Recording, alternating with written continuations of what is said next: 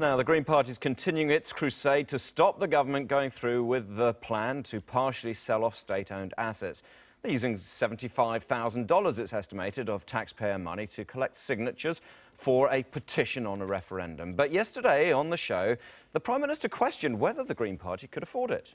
The Green Party is using your money, taxpayers' money, to hire eight people. So this is the same political party that told you they don't have enough money to pay for Mojo Mathers um, to operate properly in Parliament, has enough money to go out there and collect signatures. There's um, a degree of sort of hypocrisy about that, isn't there? Well, we're already getting a lot of feedback on this. Chrissy Sell Facebooked us to say, did everyone who voted for National want asset sales? Why not look at the referendum? Or is John Key scared that it will show a majority of New Zealanders don't want the sale. Well, I'm joined by co-leader for the Greens, Russel Norman, for his response. First of all, Dr. Norman, I saw your eye, eyebrows raised there as you, as you listened to the PM about Mojo Mathers. He was being unfair there. It was never a case about not being able to afford it, was it? No, what he said was completely untrue. Uh, as we said at the time we had the money, it was the principle. Every, every MP should be able to participate in Parliament. Um, whether they're disabled, whether they're from a rural electorate, so they need a lot of support for travel, whatever it might be. Um, and so the Prime Minister launched a premeditated attack on us using information that he must have known was false, and I think that's pretty shameful. And that's one of the reasons why we wanted to get you on this morning.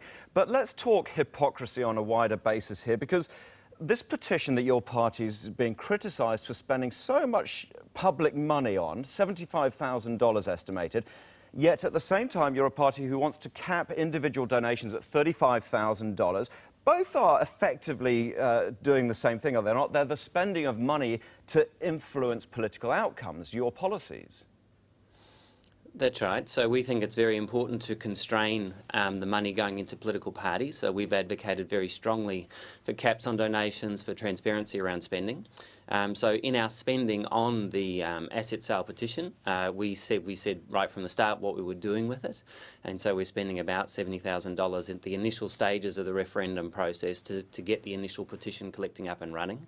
The vast majority, of the, obviously, of the petitions uh, of the signatures are coming from volunteers, uh, but we said we were doing that. Unlike the Prime Minister, who's spending one hundred and twenty million dollars on advertising, PR spin, and investment bankers like Goldman Sachs, and will not tell us how much each of those contracts is worth. He's refused to tell us. Yet 120 million would be a drop in the ocean when we're talking about a, a, a partial asset sale which is going to raise potentially five, seven billion dollars well, it's not going to raise it. They're going to take the assets from ordinary New Zealanders and give the money to other purposes. They're taking our assets, right? That's what they're doing against the wishes of the majority. We're trying to run a campaign in order to keep the assets in public ownership. We think that's what people want, and we're willing to put it to a referendum, and the Prime Minister's scared of that.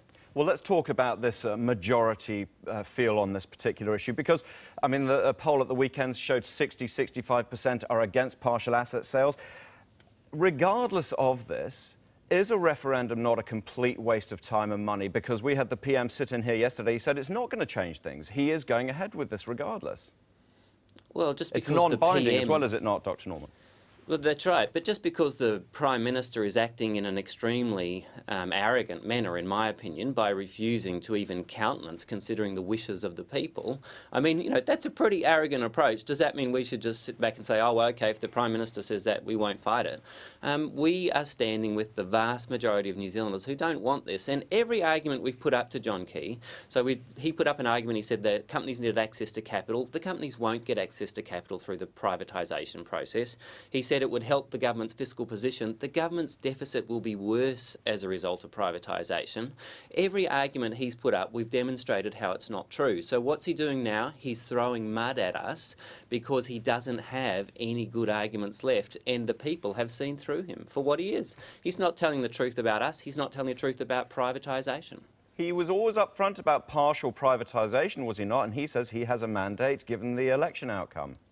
Yeah, and in an election, people vote for a political party for a number of reasons, right? And so lots of people who voted National don't support privatisation. And that's why I think he's so upset about it all, is because he's getting enormous heat from National Party voters who don't want the privatisation of their assets. And that's what politics is like. You vote for a party, you know, you might agree with, say, two thirds of what they believe in, but you know you don't believe with everything, uh, with everything that they say, um, and that's okay. Uh, and on this issue, there is very strong feeling about it, and it's intergenerational. These assets were built up over generations. If they're privatised, it's very hard to get them back. And so I don't see why we can't have a referendum on this issue because it does have such significant long-term effects for New Zealand. These are our great renewable energy companies. This should be the platform for an export industry to the I rest of the world. At the same time, Dr. Norman, uh, National argues that they're transferring the funds to other assets. But, but, but what I want to ask you now, finally, though, is yeah. if you get your 300, 310,000 signatures on the petition, enough for the referendum to force the referendum, are you committed to going ahead with this? We are. We think New Zealanders have the right to have a say over whether the assets built up by their generations before them should be privatised by this government, which is run out of cash because they gave tax cuts to upper income earners. That is a, just, a, just a terrible short, short, think of the short-term thinking involved in that. They gave away tax cuts to upper income earners, now they've got a hole in the budget, so they go, oh, we'll privatise the assets to fill the hole. That is short-term thinking of a diabolical kind. All right, Dr Russel Norman, you've had your hit. Thanks very much indeed for joining us this morning to clear up Pleasure. those accusations of hypocrisy.